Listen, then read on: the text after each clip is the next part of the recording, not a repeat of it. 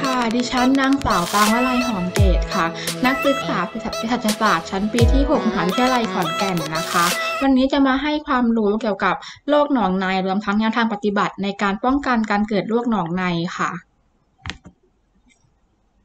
ค่ะมาเริ่มกันเลยนะคะโรคหนองในค่ะ เป็นโรคติดต่อทางเพศสัมพันธ์ค่ะ ที่เกิดขึ้นได้ทั้งในเพศหญิง และก็เพศชายค่ะ การติดเชื้อหนองในแท้นะคะ ส่วนใหญ่จะเกิดขึ้นที่อวัยวะเพศ ทวารหนักลำคอค่ะ แล้วก็มักจะติดต่อผ่านการมีเพศสัมพันธ์ กับผู้ที่ติดเชื้อหรือว่าการสัมผัสของเหลวจากร่างกาย รวมทั้งสามารถติดต่อจากหญิงตั้งครรภ์ไปสู่ทารกในช่วงระหว่างคลอดได้ค่ะ โดยหนองในจะแบ่งออกเป็น 2 ประเภทค่ะ ได้แก่หนองในแท้หรือว่า กนอเรียนะคะ ซึ่งหนองในแท้อาจจะเกิดจากการติดเชื้อแบคทีเรียที่ชื่อว่าไนตีเลียโกนอเรียค่ะ โดยเชื้อจะอยู่ตามสารคัดหลั่งต่างๆ เช่นน้ำอสุจิ น้ำในช่องคลอดค่ะ โดยเชื้อจะติดต่อทางเพศสัมพันธ์ หรือว่าการสัมผัสผ่านสารคัดหลั่งค่ะ โดยเชื้อจะมี ระยะเวลาในการฟักตัว 1-14 วันนะคะ 2 จะเป็นหนองในเทียมค่ะหรือที่เรียกว่า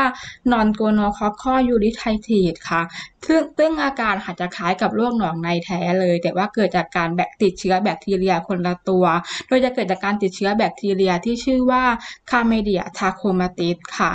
สำหรับหนองในแท้นะคะ ผู้ชายจะมีอาการปัสสาวะแสบขัดมีหนองขุ่นขาวไหลออกมาจากปัสสาวะ ส่วนในเพศหญิงค่ะจะตกขาวเป็นหนอง มีกลิ่นเหม็นไม่คันค่ะสำหรับหนองในเทียมนะคะ จะมีอาการปัสสาวะแสบขัดเหมือนกัน แต่ว่าสิ่งที่แตกต่างกันก็คือ จะมีหนองเป็นมูกใสไม่เป็นสีเหลืองขุ่นเหมือนกับหนองในแท้ค่ะ โดยผู้ป่วยที่เป็นผู้หญิงค่ะ อาจไม่แสดงอาการก็ได้ค่ะ แต่เขาพบว่าผู้ป่วยที่เป็นโรคหนองในแท้ค่ะ จะมีการติดเชื้อหนองในเทียมร่วมด้วยประมาณ 1 ใน 3 ดังนั้นในการรักษาโรคหนองในแท้ค่ะ จึงต้องให้การรักษาโรคองในเทียมร่วมด้วยเสมอค่ะ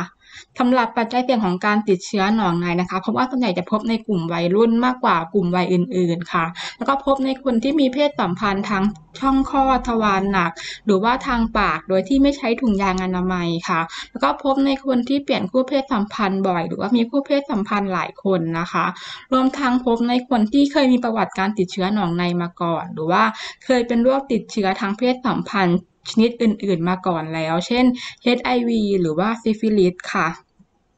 สำหรับอาการแล้วก็อาการแสดงนะคะ พบว่าผู้หญิงร้อยละ 90 แล้วก็ผู้ชายร้อยละ 10 ที่ติดเชื้อค่ะ มักไม่แสดงอาการสำหรับหนองในที่ระบบสืบพันธุ์ท่อปัสสาวะก็ทวารหนักนะคะจะพบอาการที่เด่นๆ อยู่ด้วยกัน 3 กลุ่มค่ะ ได้แก่ 1. เป็นท่อปัสสาวะอักเสบค่ะ ซึ่งเป็นอาการที่พบบ่อยในเพศชาย โดยจะมีระยะฟักตัว 1-10 วันค่ะ จะมีอาการที่สำคัญก็คือปัสสาวะแสบขัดแล้วก็มีหนองไหลออกมาจากท่อปัสสาวะค่ะ แล้วก็อาการกลุ่มที่สองก็คือปากมดลูกอักเสบค่ะ โดยมักแสดงอาการภายใน 10 วันหลังสัมผัสเชื้อค่ะ โดยมีอาการก็คือตกขาวเป็นมูกเป็นหนอง ซึ่งเป็นลักษณะเฉพาะของโรคค่ะก็อาจมีอาการ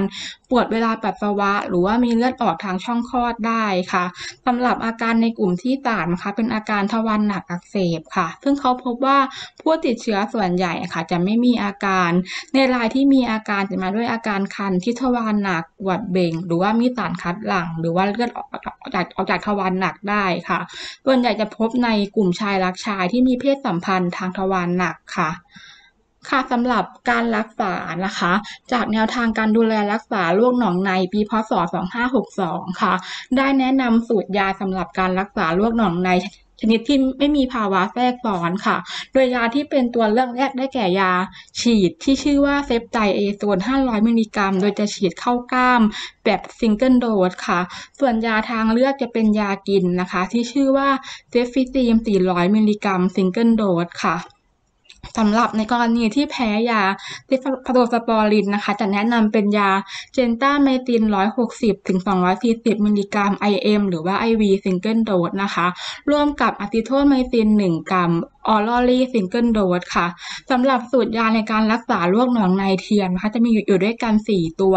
ได้แก่อะซิโทไมซิน 1 กรัม single dose ค่ะ doxycycline 100 มิลลิกรัมวันละ 2 ครั้ง 14 วัน roxithromycin 150 มิลลิกรัมวันละ วันละสองครั้ง 14 วันค่ะ แล้วก็มี erythromycin stearate 500 มิลลิกรัม วันละ 4 ครั้ง 14 วันค่ะ แล้วก็แนะนำให้คู่เพศสัมพันธ์ที่มีเพศสัมพันธ์ภายใน 60 วัน ก่อนวันที่ผู้ป่วยมีอาการค่ะ จะแนะนำให้ได้รับการรักรับการตรวจแล้วก็การรักษา เช่นเดียวกับผู้ป่วยค่ะว่าถ้ามาทำการรักษาไม่ได้ จะแนะนำให้ฝากยากับผู้ป่วยไปให้กับผู้นอนค่ะ ค่ะสำหรับการป้องกันการกลับมาเป็นซ้ำนะคะ แนะนำให้ผู้ป่วยที่เป็นโรคหนองในทุกคนนะคะ ควรรับการรักษาทุกกรณี ไม่ว่าอาการจะมีความรุนแรงหรือไม่นะคะ เพื่อป้องกันการแพร่เชื้อ แล้วก็ป้องกันภาวะแทรกซ้อนต่างๆ ที่อาจเป็นเป็นอันตรายต่อชีวิตได้ค่ะ แล้วก็หากผู้เพศสัมพันธ์นะคะ มีอาการสงสัยว่าจะติดเชื้อหนองใน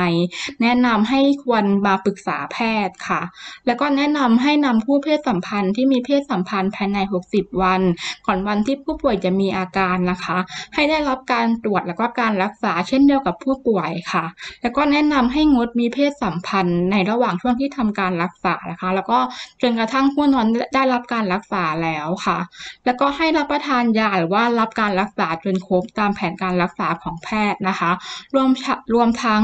ใช้ถุงยางอนามัยทุกครั้งที่มีเพศสัมพันธ์ค่ะ ไม่เปลี่ยนผู้นอนบ่อย รวมทั้งหลีกเลี่ยงการมีเพศสัมพันธ์ หรือว่างดใช้ของส่วนตัวร่วมกับผู้ป่วยโรคหนองในค่ะแล้วก็ในในระหว่างที่เป็นหนองในนะคะ ไม่ควรพยายามที่จะรีดหนองออกมาค่ะ เนื่องจากว่าอาจทำให้การอักเสบลุกลามได้ค่ะ แล้วก็งดดื่มเครื่องดื่มแอลกอฮอล์ระหว่างทำการรักษาโรคหนองในค่ะ แล้วก็สำหรับคนที่มีปัจจัยเสี่ยงนะคะ แนะนำให้ตรวจโรคติดต่อทางเพศสัมพันธ์อย่างน้อยหนึ่งครั้งต่อปีค่ะ แล้วก็อาการติดเชื้อหนองในนะคะ ควร หายเกือบสนิทภายใน 24 ชั่วโมงค่ะ แต่พบว่าอาการไม่ดีขึ้นภายใน 3 วันนะคะ แนะนำให้ผู้ป่วยกลับมาพบแพทย์ เพื่อพิจารณาตรวจหาว่าเป็นเชื้อหนอนในชนิดดื้อยา หรือว่ามีการติดเชื้ออื่น หรือว่ามีภาวะแทรกซ้อนของการติดเชื้อร่วมด้วยหรือไม่ค่ะ ค่ะ ขอบคุณค่ะ